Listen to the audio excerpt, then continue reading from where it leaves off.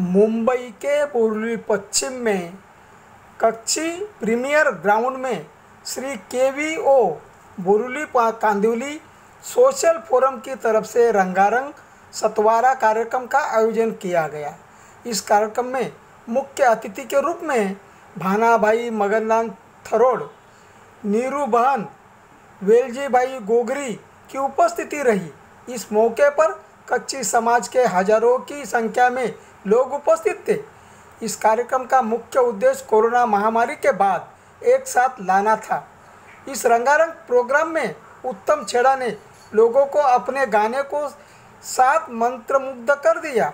इस मौके पर कच्ची समाज के लोगों द्वारा किए गए सामाजिक कार्यों को देखते हुए लोगों को सम्मानित भी किया गया एजुकेशन की तरफ़ से काफ़ी अच्छा प्रोग्राम हुआ, भारी संख्या में लोग उपस्थित थे, काफ़ी एंजॉय किया, और क्या कहेंगे? ये बोरीवली कांदीवली सोशल ग्रुप कच्ची विसावोस्वाड बोरीवली कांदीवली सोशल ग्रुप ने ये प्रोग्राम अरेंज किया था।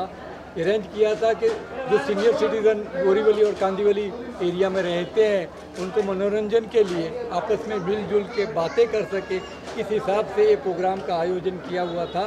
ये फोरम है जो सोशल फोरम है बहुत सारा सोशल वर्क करती है जो सोशल वर्क में ऐसे हैं कि जो बहुत सारे आज कुटुंब ऐसे हैं बोरीवली में जो एजेड हो गए हैं जिसके पास खाना बना बनाने का कोई सगवड़ नहीं है और बना नहीं सकते हैं शारीरिक कंडीशन के लिए इनको घर बैठे टिफ़िन की व्यवस्था की गई है जिसमें फुल डाइट इनके घर पे पहुँचा दिया जाता है।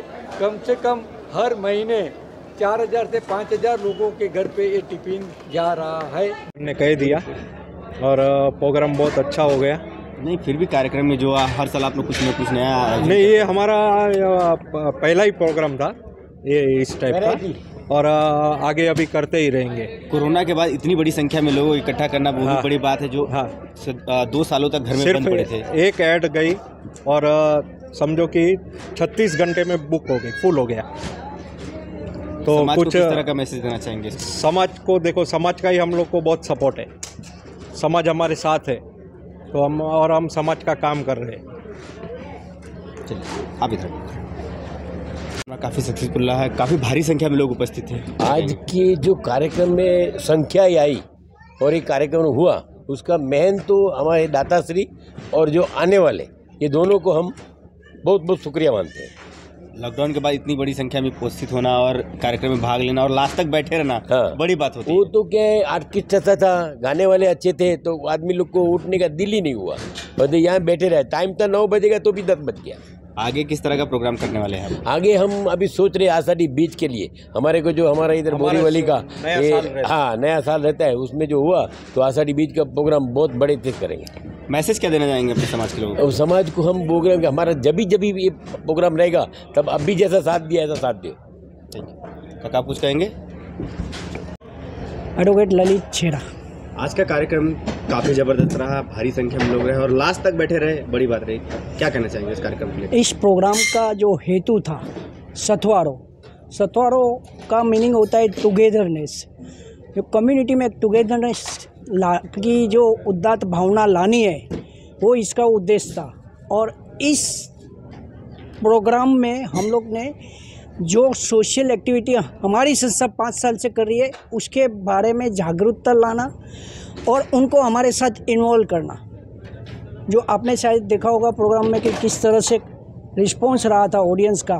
इतने इन्वॉल्व हो गए थे, इतने साथ में हो गए थे हम लोग, हम जो कार्यकर्ता हैं उनके साथ। उनका जो प्रतिसाद मिला, जिस तरह से हमारी एक्टिविटी को सपोर्ट मिला हमारी एक्टिविटी में सीनियर सिटीजन्स और समाज के अलग अलग इश्यू जो अभी वर्तमान परिस्थिति में जो प्रश्न है, उसके बारे में सेमिनार रखते हैं। उनका सीनियर सिटीजन के लिए टिफ़िन का अरेंजमेंट सीनियर सिटीजन को एक कंपनी देने के लिए उनके पास सामने से इन्विटेशन लेके हम उन्हें मिलते हैं। उनके हर एक प्रॉब्लम